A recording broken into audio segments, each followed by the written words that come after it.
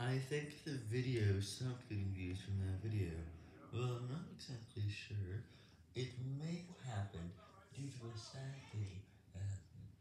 It turned out that lessons in 30s might have suddenly stopped getting me views for no reason, besides comment change, and if we don't have any other reason to support this, well then I won't know what to do.